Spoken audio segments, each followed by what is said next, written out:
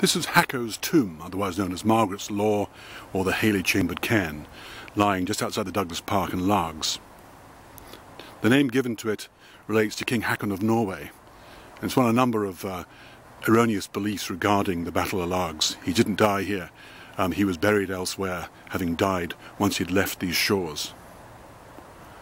Now the battle took place in 1263, but really it was more of a skirmish. Essentially, King Haakon's fleet was moored off Cumbrae.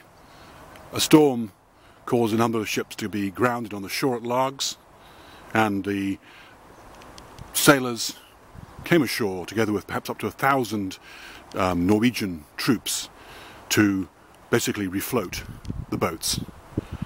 Now the Scots started to harass them uh, with slingshots and with uh, bows and arrows, and there were also possibly up to 500 uh, of the Scottish horse soldiers as well as maybe the same number of troops on foot.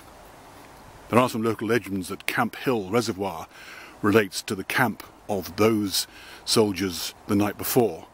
And there's also a, a memory of Kilbirnie Place having been a muster point. So all the foot soldiers probably came from Cunninghame and Kyle and maybe other close by areas. Whilst Alexander III was the king at the time. His father had almost conquered the Outer Isles. He had tried to also buy them back from the King of Norway. How he did not succeed in that. Alexander III, when he came to the throne, he was very young, a number of years took place, took, went past before he was able to start up his negotiations again.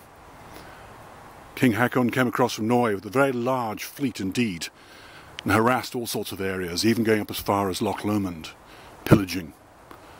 It is said that Alexander III tried the tactic of keeping King Haakon here as long as possible in the hope that the winter storms would end up in him being forced to go back to Norway. Now upon the troops and these ships having grounded they split into two groups, the Norwegian. Some went on to what is now known as the Three Sisters Mound, and others were on, down on the shore side. But this of course meant that both of the groups were split, which would make it much easier for the Scots to defeat them. So the ones on the mound ran down to join their colleagues, but this gave the impression that they were panicking and the Scots thought they were winning. Following that, a number of skirmishes took place around the boats. A number were killed on both sides. And eventually the, the Norwegians were able to force the Scots off the Three Sisters Mound.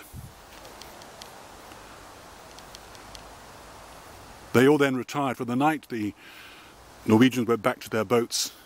And the next morning they got permission from Alexander III to come and collect their dead.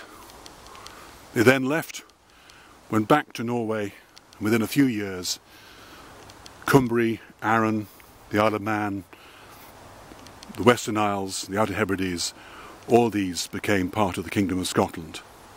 Incidentally, the leader of the troops, the general, was, was Alexander of Dundonald, the High Steward of Scotland.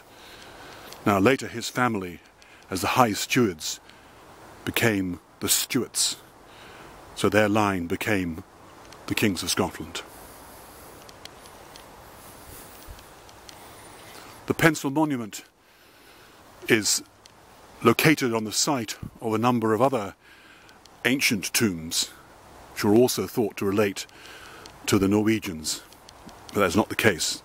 There is a standing stone as well on Great Cumbrae that's said to be the burial place of one of the Norwegian troops.